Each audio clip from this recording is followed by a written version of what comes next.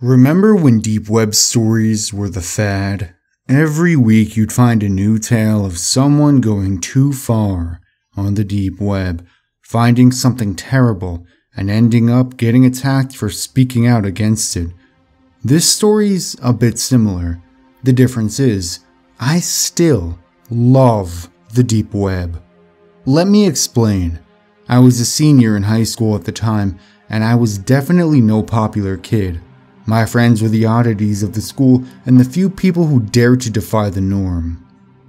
It was them who told me about the deep web, a place on the internet where you are completely unwatched, anonymous, capable of doing whatever you want. Of course, I was intrigued. Most of my friends just used it to buy drugs, but I thought a little bit bigger. I wanted to know what happened in the darkest parts of the deep web, whether or not my friends were telling the truth when they talked about horrible fetish sites and assassins you can hire to kill anyone you like. Of course, I wasn't planning on using any of it. I've never been particularly interested in sex, so fetish sites don't interest me, and there's really nobody I'd like to kill. It was the mystery of it all that fascinated me, Going to these sites would be like peering into a side of the world only a few have ever seen, like a wholly new experience. At the time, I was tired of the monotony of life. I'd get up at the same time every day, go to school, attend the same classes, talk to the same people, go home, play games, do homework, go to sleep, and then eh, it would repeat. I wondered if other people got tired of that. Anyway, it took me a while to actually dive into the deep web. As fascinated as I was, I'd been warned of what could happen to me. I read the stories I talked about too. Who isn't afraid of being threatened by hackers or stalked by some creep you piss off online? That kind of shit kept me from actually going on the deep web. Until the day I manned up and decided it was time to break the monotony. It was time to delve into the underbelly of the internet Time to see a world I had only dreamed of. For the first week or so, it was fucking boring. It was just drug sites and stuff where people expose government secrets or whatever. Nothing as dark as I expected. I don't even do drugs, so that was useless to me, and I wasn't into politics. There wasn't really much I was into back then, so I was disappointed. The only reason I kept exploring was my sheer desire to experience the world I thought existed on the deep web. That world was darker than any drug site. That world had murder, torture, fucked up porn for fucked up people, and all sorts of nasty shit. I eventually got my wish.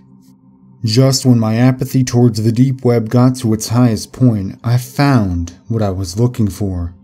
The site didn't have a name. I thought it was a broken link for a bit, since it only led me back to a black screen.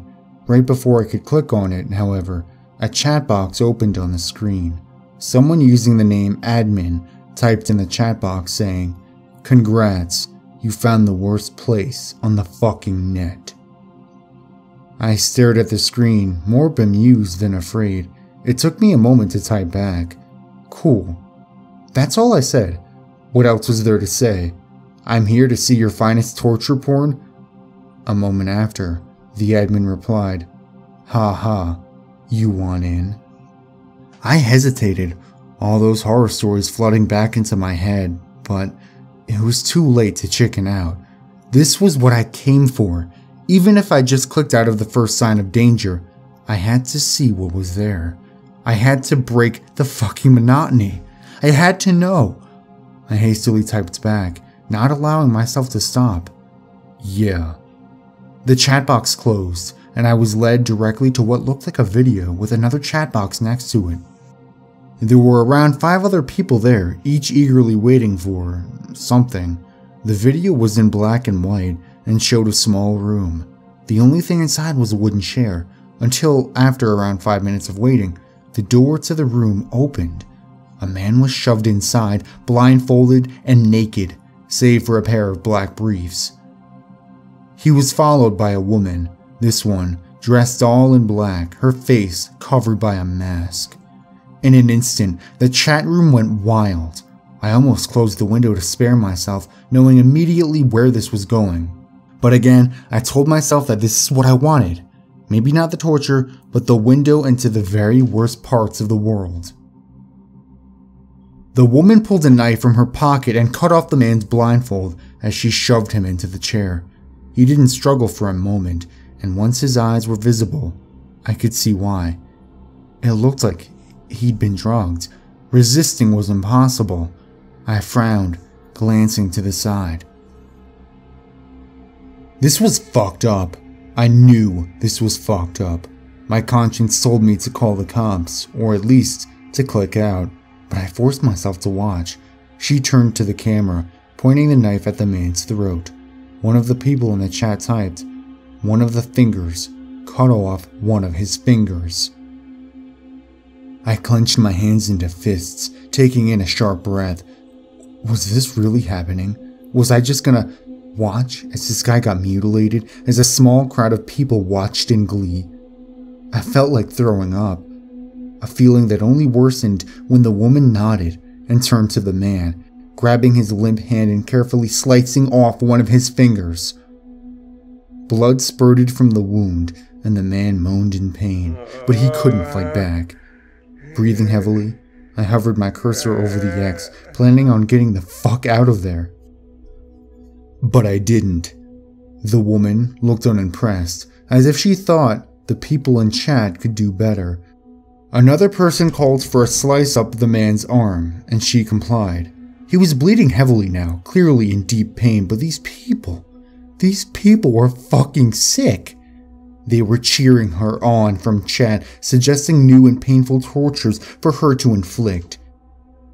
Eventually, I stopped breathing heavily. I stopped, feeling sick.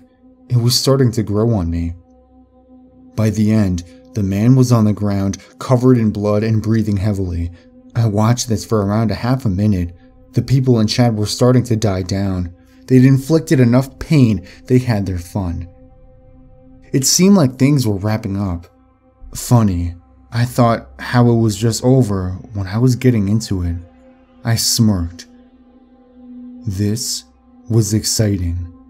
This was better than any game I could play, much better than any fucking class I could attend, better than sitting with a group of fucking nobodies pretending like I cared for a goddamn second about them. This was the world I wanted to see. This was darkness. This was the underbelly. This was reality. Fucking end him. Slit the throat. I typed in the chat for the first time. She nodded for one last time, bringing the man to his feet before slowly dragging her blade across his throat, sending more of his blood spurting out. Once it was done, she dropped him and he fell to the ground, limp. He was dead.